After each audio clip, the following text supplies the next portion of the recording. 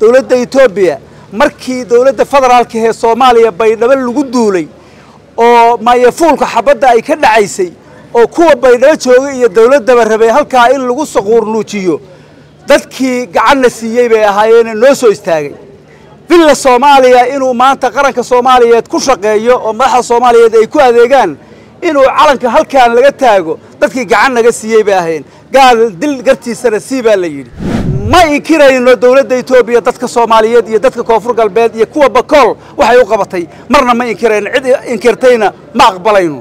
Sabab xuduudka loo geeyo oo laba dowladood colol isaga hor keeno ma garanayno annaga mana aqbali karno anigu waxaan ahaa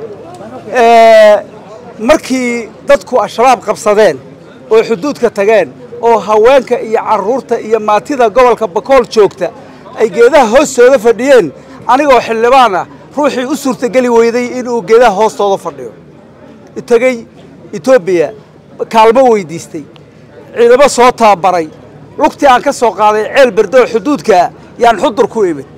Maalinkii xudur la qabanayey waxaa weeye safka hore ayaan xabadda ka ridahayey ninkii aanan hawsha ayadaa goobjoogga u ahayn ee dadkaa goobjoogga u ahayn ee xaaladday ku sugan yihiin hadda aan goobjoogga u ahayn ee ka hadlahaya ee dad baan matalaa leh ma fahmin anugu iyo shacbiga koonfur galbeed jooga iyo shacbiga xudur jooga anigii xildhibaanadaas iyaga ayaa caddayn doona cidda madeshiyo cidda aan madelin ninka yidhi waddani ma aha. Dadkaa kama naxahayo. Tool maxamed macallin raxmo guddoomiye ku-xigeenka dadkaa ka hadlay meeshaa ka midka ahaa waxaa weeye waa dad waxay dadkaa soo mareen oy dalkaa ka soo mareen iyo dadkaa ka soo mareen aan garanaynin.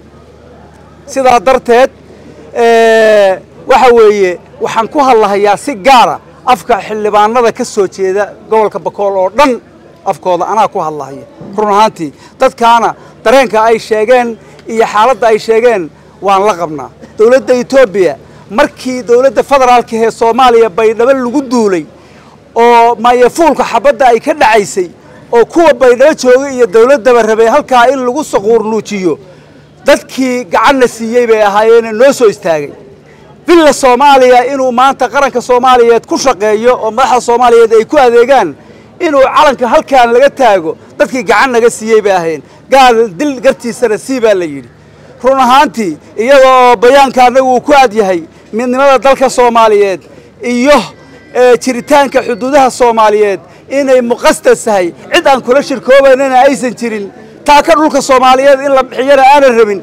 Haddanana ma inkirayno dowladda etoobiya dadka soomaaliyeed iyo dadka koonfur galbeed iyo kuwa bakool waxay u qabatay. Marna ma inkirayno. Cid inkirtayna ma aqbalayno.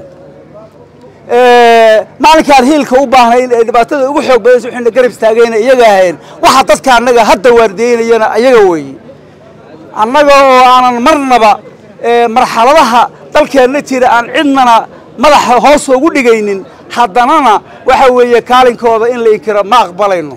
Dadka annaguna ilaa hadda waxay ku tiirsan yihiin oo cadowga al-shabaab iyo hawshooda ilaalintooda iyo nabad ilaalintooda. Waxa weeye iyada oo wax lagu bedelay aan jirin geedaha hoostooduna la taagan yahay tala aan u midaysannahay iyo hawl loo midaysan yahayna aysan jirin.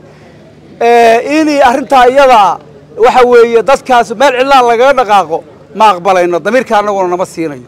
Madaxweynaha ummadda soomaaliyeed mudane xasan sheekh maxamuud halkan waxaan ugu ansixinnay iyadoo aanan eegin qoraallada iyo qaraanada u haysto arrintaasay damiirka annaga u taabatay.